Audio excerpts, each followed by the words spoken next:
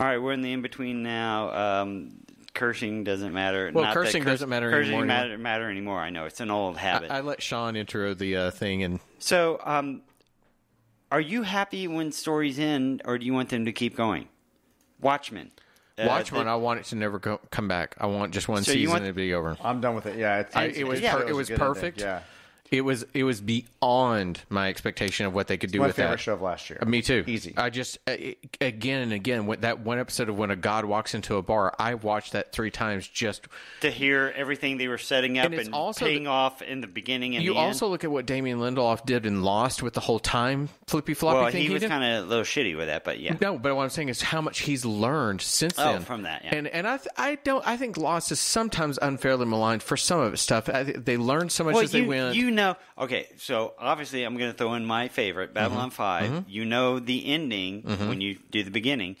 Lost, you know they did not know the ending when they did the they beginning. did not. Or they but, did not have that ending in mind. Yes. Yes, it. but as it became a monster, that the TV network said, "Hey, let's keep going. We're going to do this and this." We, you know, no, you At least they can't cut it said from- no, at least five years. Yeah, they eventually said that they they got them so- such a, in such a corner. But I, the thing is, for me, when you watch the leftovers that he did, and then you watch Watchmen, he's by far my favorite showrunner right now. All right, so Those two me- shows alone are like wow. So I, have not watched The Leftovers. Should I watch Love the, it. I- I- okay, and so- does it end because it naturally ends. It's yes, supposed to end? He- it- so it's based on a book. Is it HBO? It is HBO. It's based on a book that he loved. He got the writer to work with him, and it does does expand beyond what the book was. Okay. But they worked together, and he he said, "I want you to help me," and they knew where they were going. And I personally think its ending as is, is as beautifully satisfying as the ending of Watchmen is. So I All right, well then I'm going to watch it. It's So uh, I- it on It is a very, very softly stated show. That it is, it you know, do you, do you know the conceit that I think it's three percent so of the population I'm- disappears yeah. all of a sudden? no, I don't know what it's. That's So- what it is, and it's how do you deal with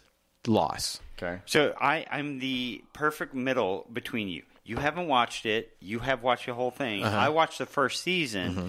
and got a little frustrated with it. Now I know the conceit of it. The conceit is a, a portion of the population disappears, and the whole thing is they will never tell you why they disappeared.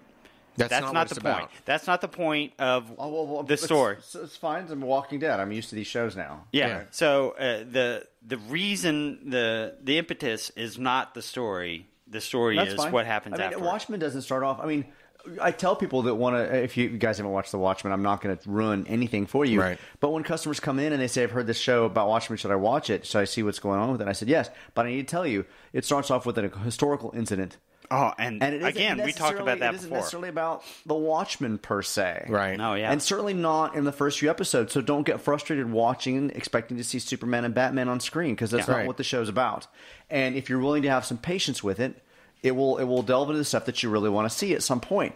But that that's why when people say everybody's praising the show, I'm like, all right, but I got to pull you back a little bit, Right. Because it may not be what you think it is. So I'm fine with shows that don't necessarily g- g- give the me the what- conceit being me- not the actual purpose If- of the story. If it had been simply how do I take the characters of the original original Alan Moore book and take them to the next step, Or- it wouldn't have worked. it would have failed, It- yeah. but instead, what he wants to do is he wants to tell a story about race relations in our modern era by looking through the lens of this idea. Right. Much like taking what you know how the atomic age and what the original Watchmen looked at through that kind of thing and a police state and stuff like that. There are yeah. so many things that that Watchmen is about that probably the populace doesn't even think it's about.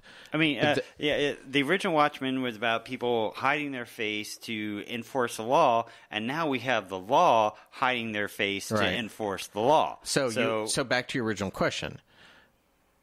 Do I want more of it? Selfishly, yes, because I, if they could keep it going and somehow make a, a story that expands upon it, yeah, fuck yeah, they're killing it.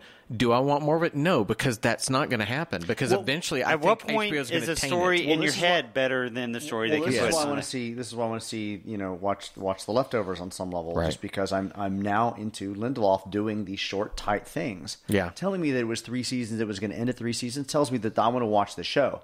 I don't want to watch Lindelof after having watched Lost Mm-hmm. in a, in an unending thing of they try to spin new stories out of something that is just is no longer they've beaten a dead horse and they don't have a conclusion to it.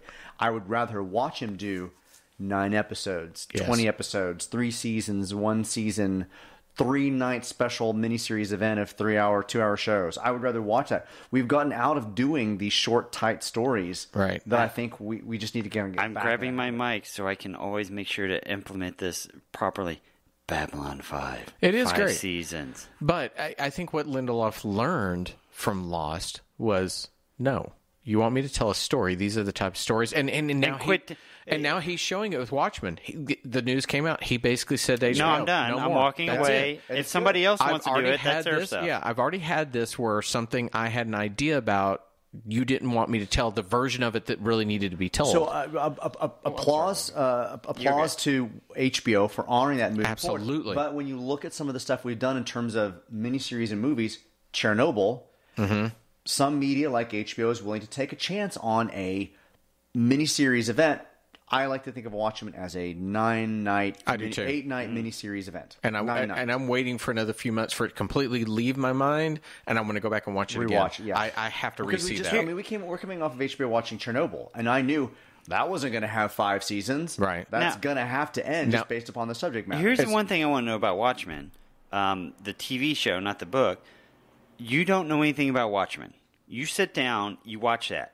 Are you confused, I or have- can you follow it? One of my customers came in and he said his wife has never read Watchmen and she loves the show. Yeah, And that's they pretty wanna much back- everything let's I make read. Go back and re rewatch it because you don't need to. They don't tell you who the characters are. Oh no, no, they No. don't tell you anything about that. But I mean, are you confused about a blue man on Mars that can do anything, and then all of a sudden can you know? Well, is, is that confusing to you? Does the the Rorschach mask Well, make I- any sense to you? I think they, I think they come back and give you a little bit more as the series goes along. For me, initially, I'm like, if I were, But yeah, we that- have if the I were watching background that that. now, I'd probably think, oh, this is kind of uh, David Lynchian kind of. Yeah. What's this weirdness that's happening? Especially around? Mirror Dude. Right. What's this weirdness that's going on around you? But I, think- I like the think- fact that Jean they- Smart was always just like uh, looking at him Yeah. doing Well, her makeup or whatever. that particularly Mirror when guy, into- whatever you are. Particularly when we go into to Mirror Dude's origin, and then we have more His exposition. name is Looking on. Glass. Come on. Then we have more explanation by Yvette later on when they're talking about what happened and what's going on And why he they're doing. does that, yeah. So By we the get way- the explanation. just because you said this, and I'm so afraid I'm going to forget it, because you mentioned Chernobyl. The, one of the writers of Chernobyl had a podcast with one of the creators, or maybe he was a producer of Chernobyl. It was so well done that HBO came back and said, "Would you do one with Lindelof for Oh, for Watchmen?" the- and that's- it's out there. yeah, they did and it's, three it- episodes three of the podcast. episodes, and they And they cover covered three three hours each episodes. It is like a master class in what he does and how he and he he talks about how the original watchman was like his bible as a kid that he, you know he got it issue by issue and he's like i read it hundreds of times and i've broken it down if if if you like those type of things i'm telling you go listen to this man it is well worth that investment of three episodes you listened to it too Oh, yeah. i thought i thought i thought the chernobyl one was good i thought the lindelof one was like holy shit i i am in love with this man he's he's great I mean, wait till you read your annotated. Um, I started Watchmen. some of it, and I can't get people so to leave me alone because I'm sitting there trying to read the annotations, and I'm like, oh god, this goes down the rabbit hole. Watchmen is one of those books that I can pull out, read it again, and find new things every time. The first time, and you know, uh, this is me being a stupid kid back in the '80s and stuff. The first time that I figured out, oh wait. Like all the fire plugs are smiley faces and stuff like that. You just see smiley faces all over it as part of the whole symbolism. Like, ow. Well, as I read the first of it, I realized that I think the only time I've read it was the first time I read it, you know, back in '90 or something like that. So the only thing in my memory were a lot of what Zack Snyder did to it. Which I never. I, Oh, uh, I- I Zack never- Snyder, we want to talk about that, too. I can never. I can never decide with the Watchmen movie. I realize that it, it's not the book, but I never can decide if I like it or if I tolerate it. I, I don't do know what to tolerate think.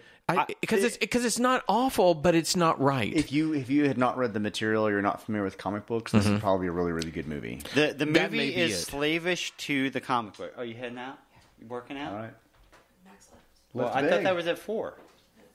It's two. Two. Sorry. Lift Um, big. and for those of Pick us listening, things. that's that is our sweet JJ Our heading out to take care of her life. Our lovely hostess who always takes care of us the mostest. Yes, very much she, so. she cooked uh, two weeks worth of food, and I think we ate one day's worth. So we're horrible people. We'll, we'll Um, blame it on Richard. It's all Richard's fault. So, so the watch, bar. the Watchmen It's in movie. my macros. The Watchmen movie is a beautiful thing to watch. Uh, Zack Snyder. It is is a- beautiful. The art direction is Zack. Snyder is a gorgeous director. If you took all his fat uh, slow motion out, all his movies would be about a half hour. And it's almost like he doesn't understand story structure sometimes and pacing for the story. That's what I find.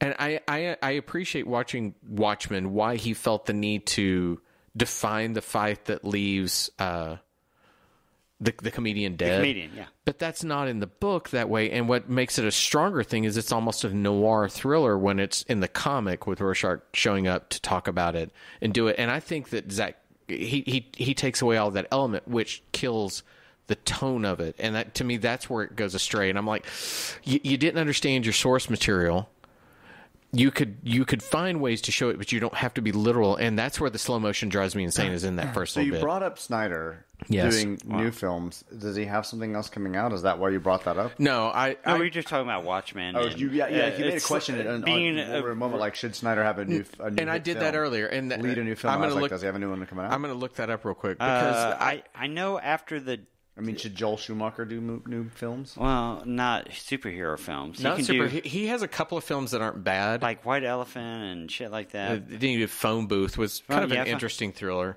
Um, now, the But- reason I asked about Zack Snyder is there a more problematic direct, director that's out there working right So- now that it seems like okay, every so- film he does either Keep in mind, barely like makes money or they have have to pull the print.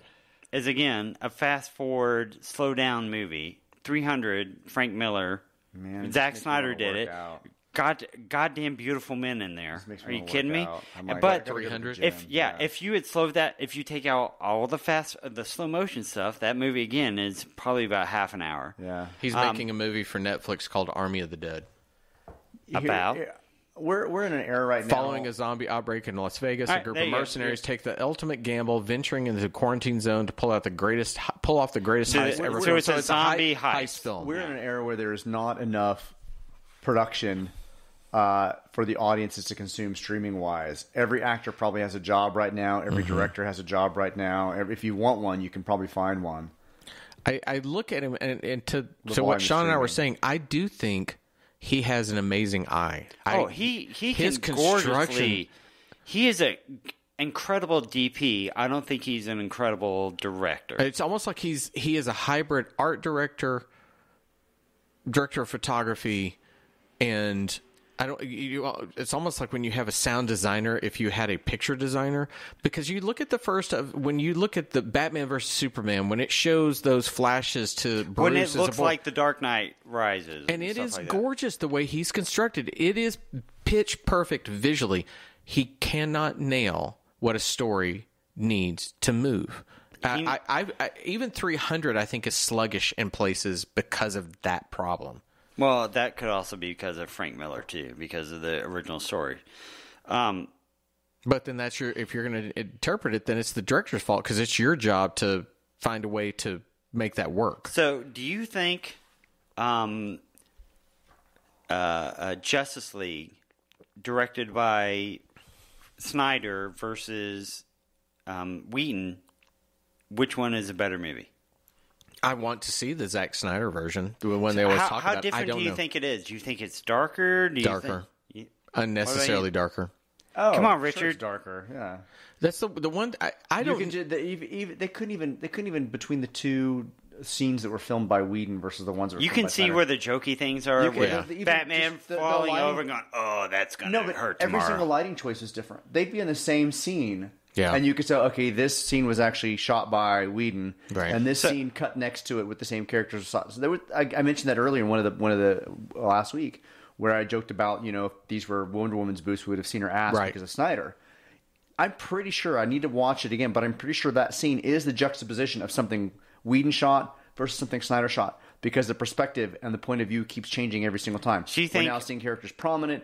Everything at the background is brighter, and it cuts to the reverse. So you of think Wonder Woman Snyder's- and, and I think Cyborg or Flash. So and it's Snyder's- darker and it's upper skirt, and then it goes back to like it feels like that one moment was just back and forth between the so two. directors. Snyder's darker and less I jokey. think I think it's been a while. I, I don't don't know if I can I'm define what he is like that, but you know, um, I, I know this about what he did with that Justice League is that I hope he's okay. Sean walked away. All of a sudden, Richard and I are both like, hmm. Um, okay, So go, cool. Go potty. Awesome. Um, I you can't convince